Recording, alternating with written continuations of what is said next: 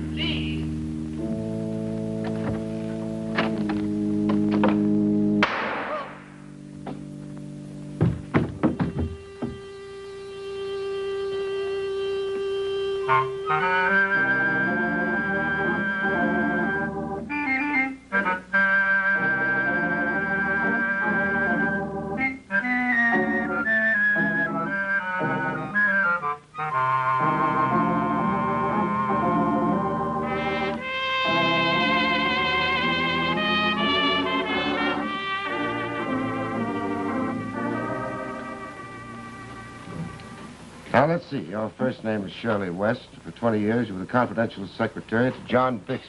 And according to the terms of his will, you're one of the major beneficiaries. Now, what can I do for you, Miss West? Major beneficiary, major suspect. Suspect for what? The murder of John Bixby. Oh, no, wait a minute. According to the papers here, John Bixby was killed during the commission of a robbery in his home. Well, that's for public consumption, Mr. Kane. Privately, the police believe that Mr. Bixby was cold-bloodedly and intentionally murdered. And on what do they base that theory? Oh, I don't know, sir. I do know that I've been very closely questioned, as have been the others mentioned in the will. Let's see. Now, about John Bixby, uh, what business was he in? Well, Mr. Bixby was an inventor and a very successful one. Mm-hmm. Any family? Only a, a nephew, Carl Bixby. Mm-hmm. No other relatives? None whatever. Mr. Bixby was a very lonely man. Now, as regards to the robbery, was there anything of value taken? Well, nothing was taken, Mr. Kane. As a matter of fact, aside from the furnishings, there's nothing in the house of actual value. Well, what about the safe? Well, Mr. Bixby kept anything of real intrinsic worth in his vaults downtown. The safe contained nothing but his will and his diary. Did you know the combination to the safe? Yes, I did, Mr. Kane.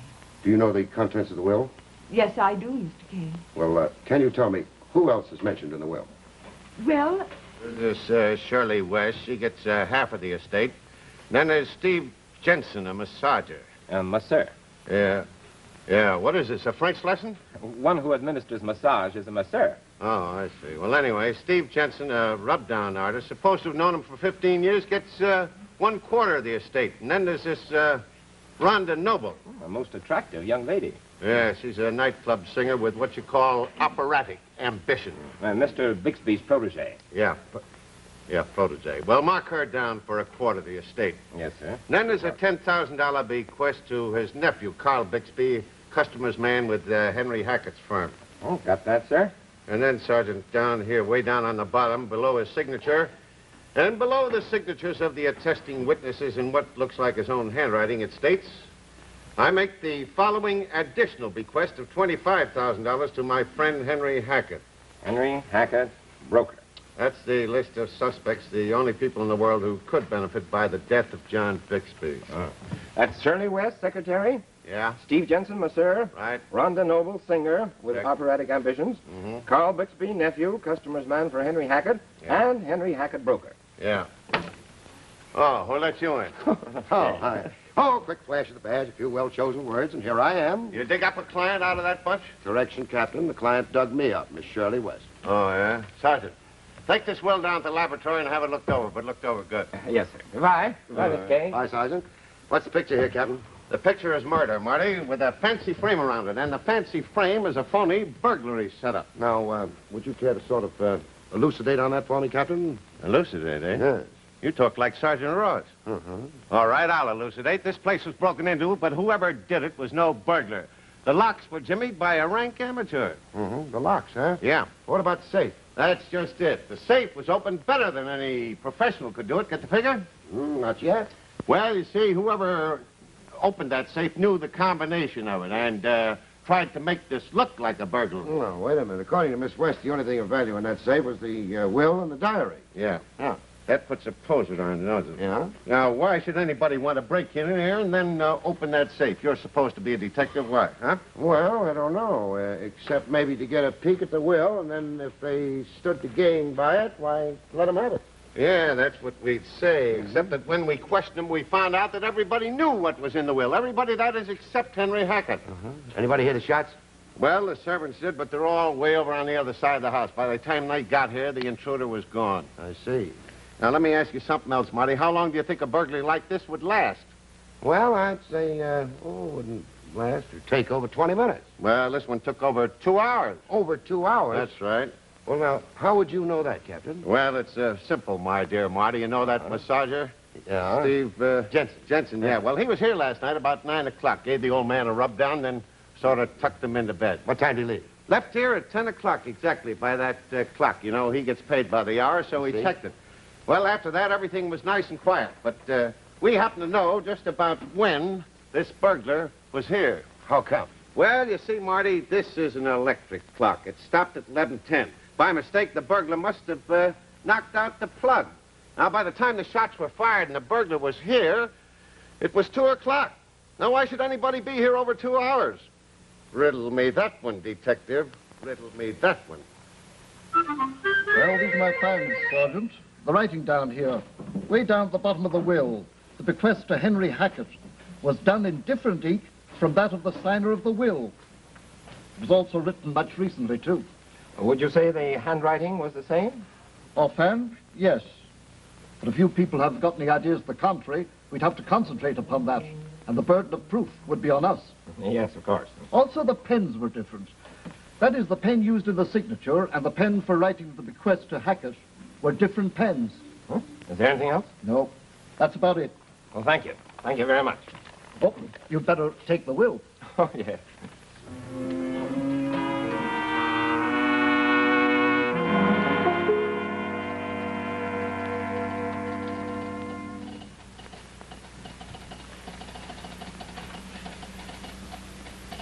Shall I send him in now, Mr. Hackett?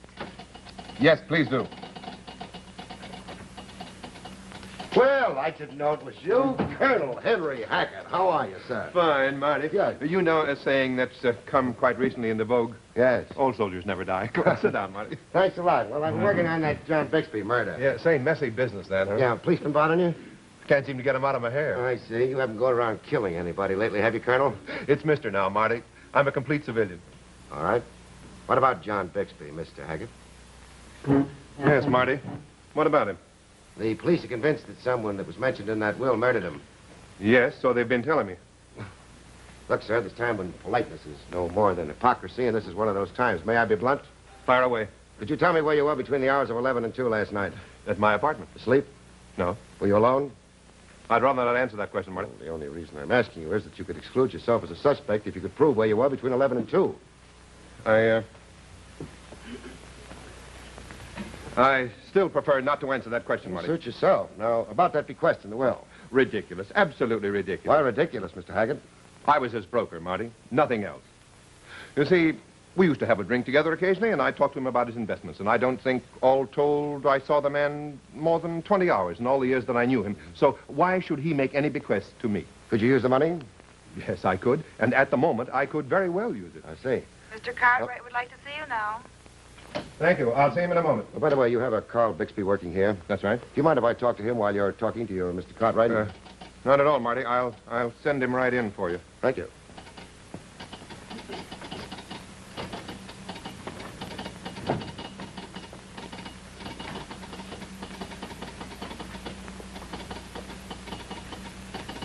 Oh, Carl Bixby? Yes. I'm Martin Kane. Yeah, I know. Mr. Hackett just told me. Yeah, don't be so nervous. Sit down. First of all, tell me, do you, uh, did you know the combination of John Bixby's safe? No. No, I didn't. Well, it seems that I'm the only one outside of Mr. Hackett that didn't know it. My uncle trusted the people he was leaving his money to. I don't get it. Didn't the police tell you? Everybody mentioned in that will knew the combination of that safe, except me and Mr. Hackett. Didn't your uncle trust you? Seems he didn't.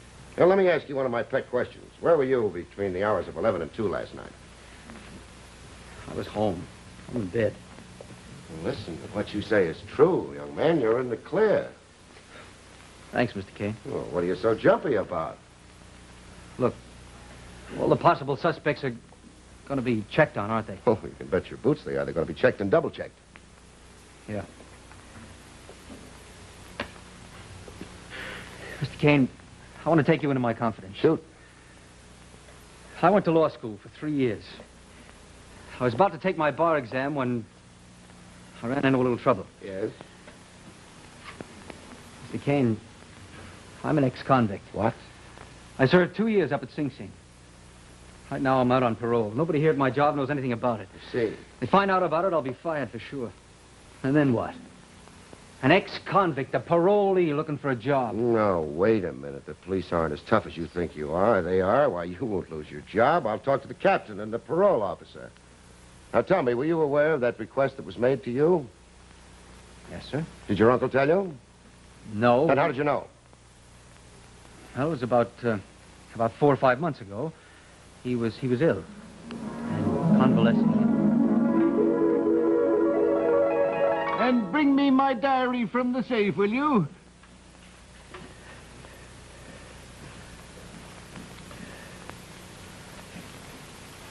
Thank you, Carl.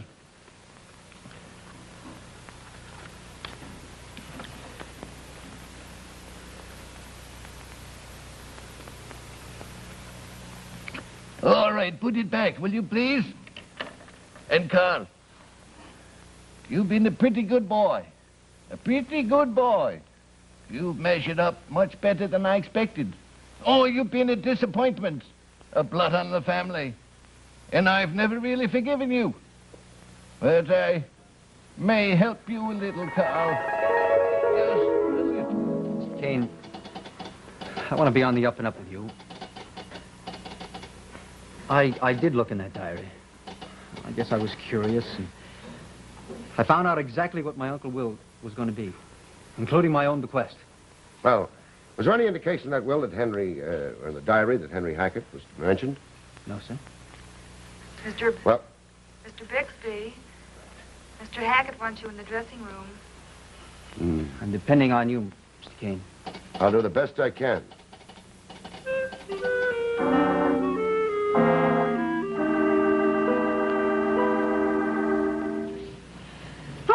Steve, that does it. Thanks, Shirley. You're a doll. Yes, a doll. And a murder suspect. As are you and Rhonda Noble. Where were you, Shirley West, between the hours of 11 and 2? I went to a movie. Got home about a quarter of twelve. Couldn't sleep. Read until about three and then popped off. How about you? Home in bed. Were you? Now, what do you mean by that? Look, Steve, I knew you wanted me to do these letters for you today.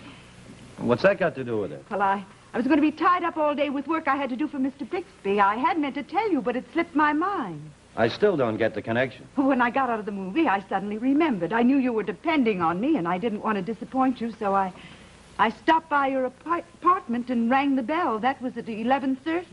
So? There was no answer. So what did you do then? I went home. As I told you, I couldn't sleep. I called you on the telephone at 2.15. There was no answer that time either. Did you uh, tell this to the police? Did you? No. Um, no, I didn't. I, uh, I didn't want to complicate things. Were you home, Steve? Yes. Yes, I was. That's the truth, Shirley. I was tired, dog tired. I heard the bell ring at 11.30, and I heard the phone ring a little later that night. But I was just too tired.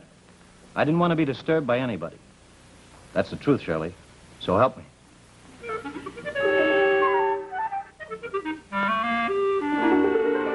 All right, come on, Hap. Will you get on the ball? Give me a pouch of old briar, please. Mr. Kane, if anybody else talked to me like that, I'm afraid I'd use my mild, sweet, uh, good-natured temper. Oh. But uh, here you are. Old Briar, the master mixture of rare flavor and aroma. Yes, yes, I know all about it. Now, tell me what's the pitch, Captain. Well, according to Ross's report from the lab, the bequest on the bottom of the will was made sometime after the will was signed, a different pen and a different ink. Oh, uh, what about the handwriting? Looks like Bixby. Seems to be the same handwriting that signed the will. Hey, Uh-huh. what's the law book? Oh, I, I, I borrowed this from a little old librarian lady. I'm going to do a little heavy reading tonight. Reading? Yes. What about? Wills. Wills. I find them very interesting. Well, got to be going. Where to now, Marty? Rhonda Noble. Ah, you going to do that heavy reading at a bar or some nightclub? Well, I'm going to try. See you later. Bye. Uh, I'll see you later, too, Okay. Happy. I'm going down to headquarters. Hello, Happy. Hi there, Jim. How's the acting profession these days? Pretty good, Happy. I just signed up to do a series of television shows. My part calls for me to smoke a pipe, so naturally I dropped by to get some help. Television, eh? Good, Yeah. good. Well, since you're going to smoke a pipe, you'll need a good pipe tobacco to go with it. Not only good, Happy, but mild, real mild. Well, there's no problem there. The mildest one there is. Dill's Best, flavor cut for extra mildness and cool smoking. Mm, You're sure this is the one I want, huh? Why, sure I'm sure, and I'll show you why. You see here how every particle of this Dill's Best is cut to just the right size for perfect smoking? That means that Dill's Best is going to burn evenly and slowly in your pipe. But uh, about its mildness. Well, well, that's just the point. Since flavor cut makes it burn evenly and slowly, Yeah? Dill's Best not only is going to give you a mild smoke, but a cool one, too. Sounds like that's it, Happy. Now, here's something else, Kid. You see this Dill's Best pouch? Yeah? Well, that's going to make you look like a real professional pipe smoker. You see how wide that opens at the top? Yeah. You dip your pipe in there nice and easy, and you fill her up. It's a cinch. You see that? Uh-huh. Then when you're finished, you fold it down nice and tight, just like that, and you slip it right in the pocket. Say, that does look easy. Uh, how much, Happy? Just 15 cents for the Dill's Best. The advice is free. Oh, uh, Jim, uh, I'm not the type of fella that uh, asks favors, but, uh, you know, I used to do a little acting myself, and I thought that maybe that now that you have the television show that, uh, well, you could get me a small part, or maybe I could do the commercials or something. Oh, you're kidding. You're kidding. You, an actor on television? I admit you're awful good in selling this Dill's Best. But for real television commercials, mm-mm, boy, you're just not the type. Not the type. I'll be seeing you. Yeah. I guess you're right, Jim.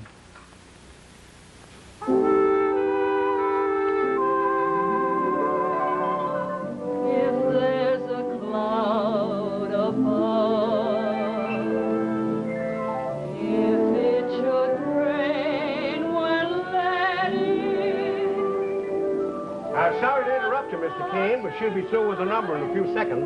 Well, just what are her exact hours? Well, I'll tell you now. She does a full routine upstairs. She comes down here for one number. She's through at 10.30. She goes out and comes back for the late show at 2.30. I see. And the same boyfriend picks her up every night at 10.30. Oh, yes. Same boyfriends every night at 2.30. Hey, not bad, eh? Oh, I'd say she's excellent. Thank you. Oh. I was told you wanted to talk with me. Uh, this is Martin Kane. Oh? Well, if it's on that John Bixby business, I'm going to tell you the same thing I told the police. I'm not answering any questions for anybody, period. But why, Miss Noble? Because I don't have to, that's why. If anybody thinks I'm mixed up in it, let them try and prove it. Everybody's got a private life. Mine stays private.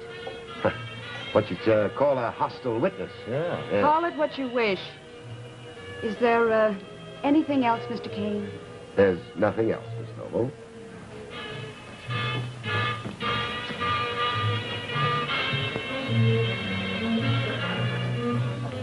Hey, uh, that's the boyfriend.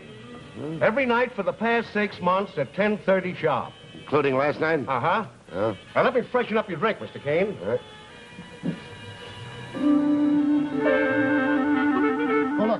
Look. Look, no more of that now. Uh, please, you got a phone? I'd like to use a phone. Coming right at you, Mr. Right. Kane. Here it is. Fine, thanks.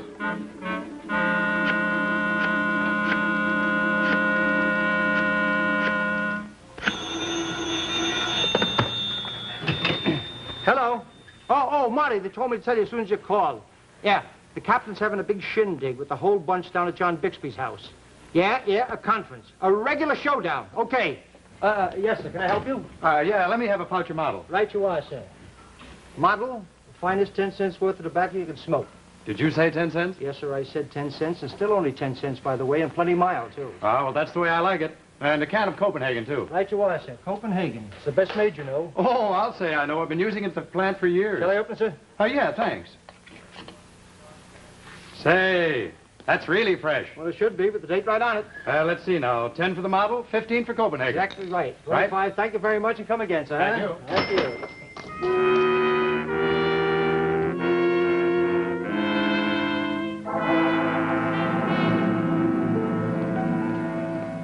Cops aren't dumb. Let's get that straight once and for all. For instance, you, Steve Judson. We happen to know that there was no answer to your doorbell at 11.30, and at 2.15, your phone didn't answer. And we, you, we know about you. You've been seeing this girl for the past six months. May I make a statement, Captain? It'll be a pleasure to hear from you, Mr. Hackett, and it's about time. Well, I met Miss Noble through Mr. John Bixby. Oh, yeah? Yes. We, we fell in love, and we intend to be married shortly. We didn't give this information to Mr. John Bixby because we thought he might not approve of her plans for being married. But from a practical viewpoint, Captain, it also might have jeopardized her legacy. Yeah, look, Hackett, uh, we're not interested in, in all these things that you're talking about. But, and this is a big but, because of your friendship with this lady, you might have learned the combination of the safe from her.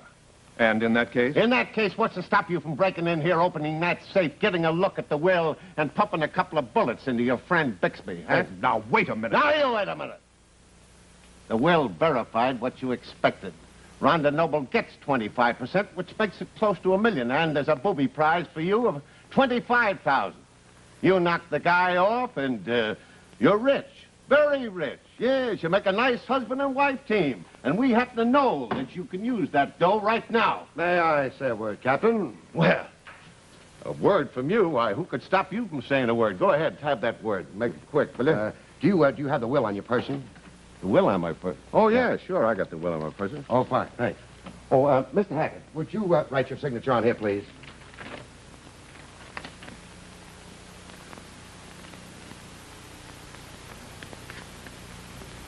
Thank you. Why, the handwriting isn't even similar. You're absolutely right, Captain. Mr. Bixby, would you uh, put your signature on there, please?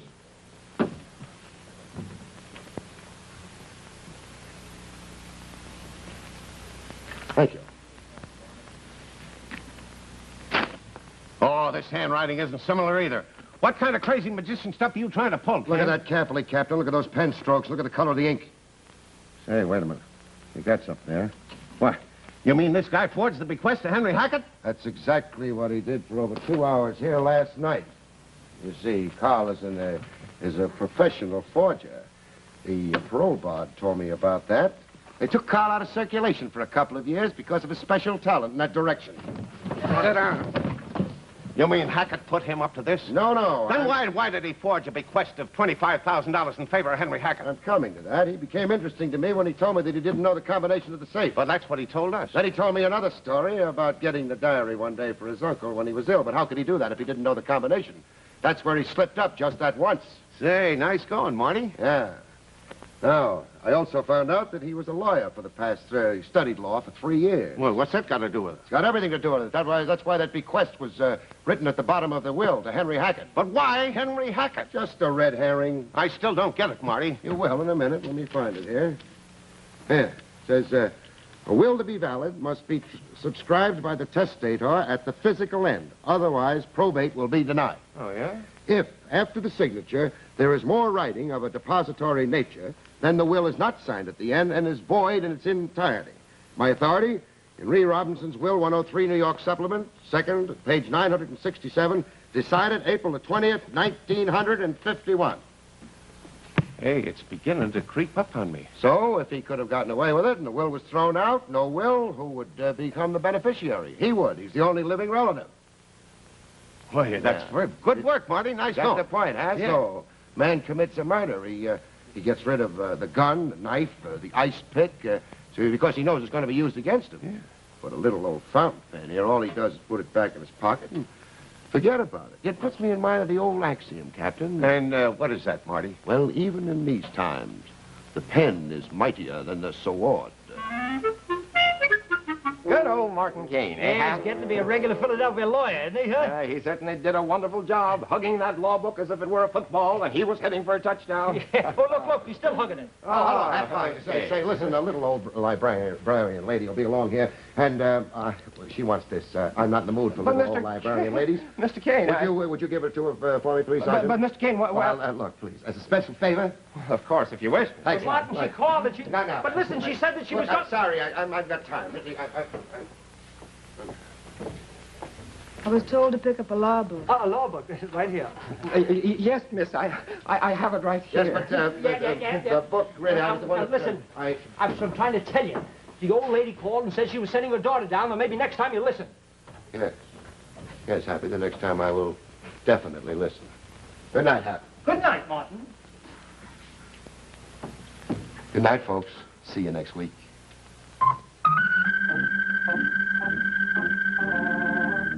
Martin Kane Private Eye has been brought to you by the makers of those four distinctively different pipe tobaccos.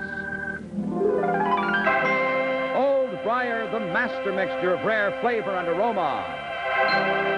Dill's best flavor cut for extra mildness and cool smoking. Model so high in quality, so low in price. And Tweed, the shaggy rough cut tobacco. One of the four, just right for your tobacco taste.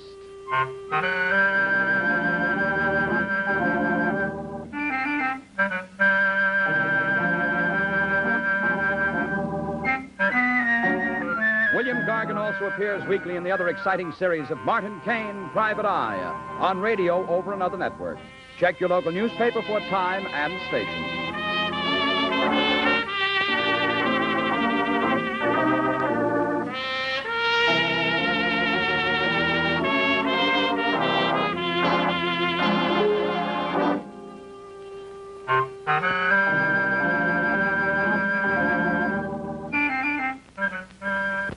NBC Television.